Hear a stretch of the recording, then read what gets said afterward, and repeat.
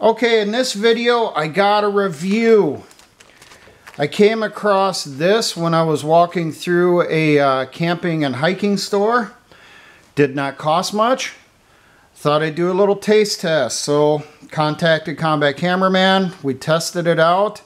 And we have our uh, info on this.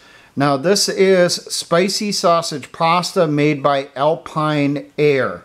Alpine Aire apparently is owned by Katadyn Group out of Switzerland.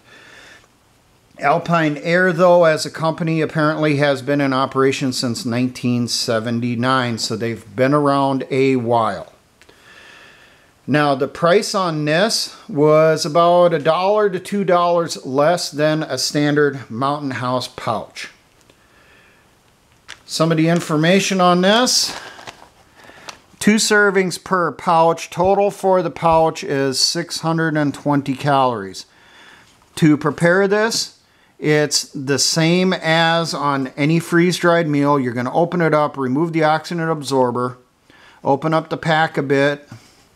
You're going to put boiling water or heated water inside the pouch. It says about one and a half cups. Then you're going to reseal the top. Give it 10 to 12 minutes to rehydrate.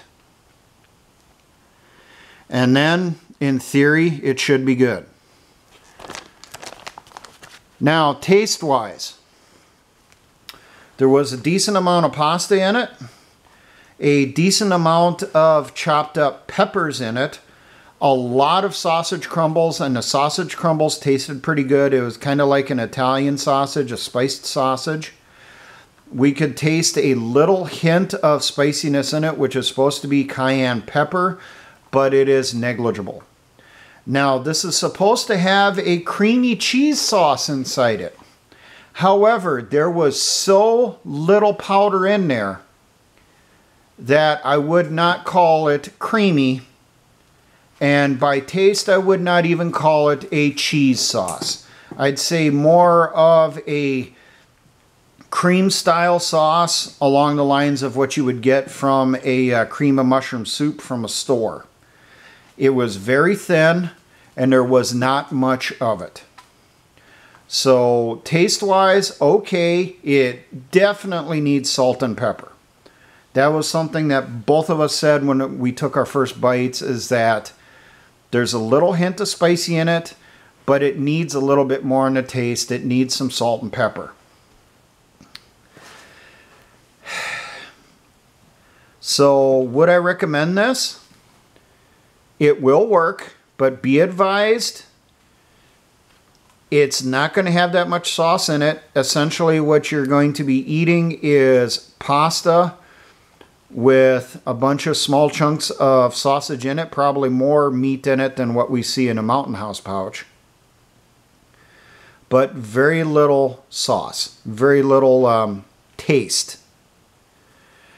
When I was talking with Combat Cameraman, I mentioned to him that this really to me seemed like something that you should maybe, if you have one of these, and with your you're with another person, your wife, your husband, your battle buddy, uh, one of your kids, whatever it turns out to be for the situation.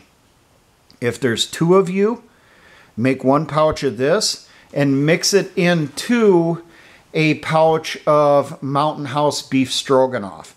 There's more than enough sauce or and stuff inside that one. The two of them will pair together really good and you would be able to get still a decent fill for both of you, a decent serving for both of you as you eat. If you're eating this just by yourself, the one pouch will work. You'll probably still want to have something uh, on the side just to uh, top you off. What that being, that's up to you. Maybe some type of uh, pouch soup or something like that. Or some type of uh, dessert entree. But uh, overall, I recommend it with the proviso that you do need to add a little bit to it. Now, for all my engineer brothers in the Patriot and militia movements, always remember essayons.